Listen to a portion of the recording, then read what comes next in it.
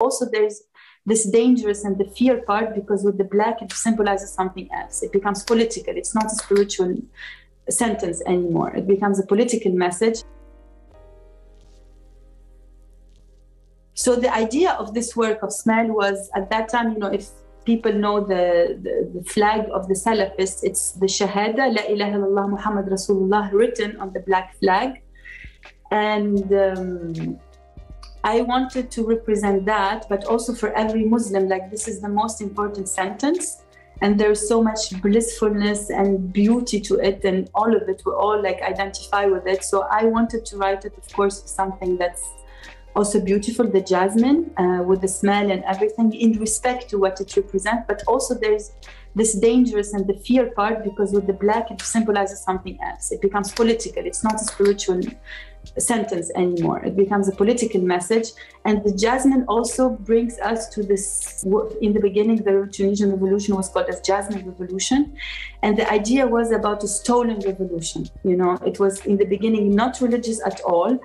Really, there was no Allahu Akbar uh, uh, cried or said. It was only about dignity, about uh, democracy. These were the movement of the youth, and then it was like as if it's a stolen revolution. So the idea was that the shahada is written with the jasmine. The first days you smell, you see this, the smell, and the slowly it's with the time it starts to fade away, and there's only dark. Um, this uh, black that stays.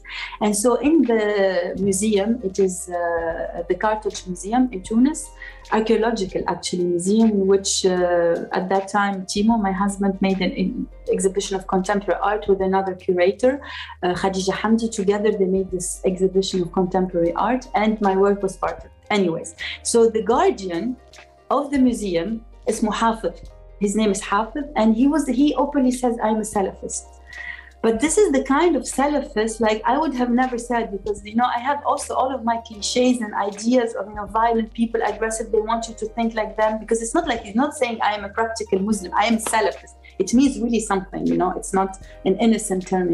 But this was like such a peaceful guy in his corner, not uh, harming anyone, the opposite, yani. And he really enjoyed very much the exhibition and the, uh, the, the, uh, the, archaeology. You have a lot of uh, sanam, you know, so it's like the sculptures and things that are in contradiction with his beliefs, supposedly.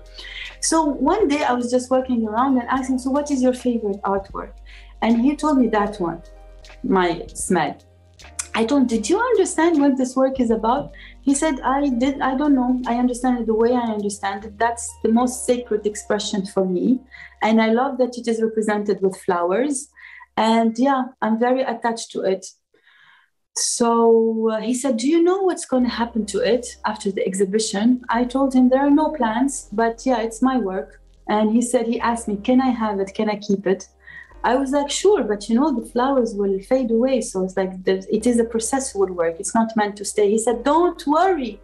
Every day I will be stitching a new jasmine and fill. I don't know if you know the fill. It's even also yeah, of course. Stronger, more beautiful smell.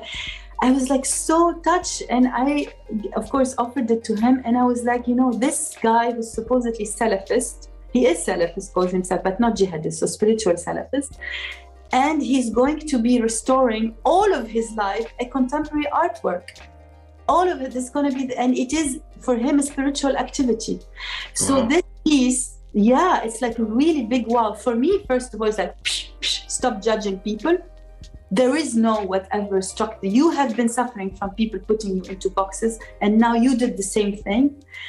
And also it's like how you mix belief and spirituality and contemporary art and actuality and politics. It was one of my biggest lessons of my life actually this conversation and offering this giving him this offering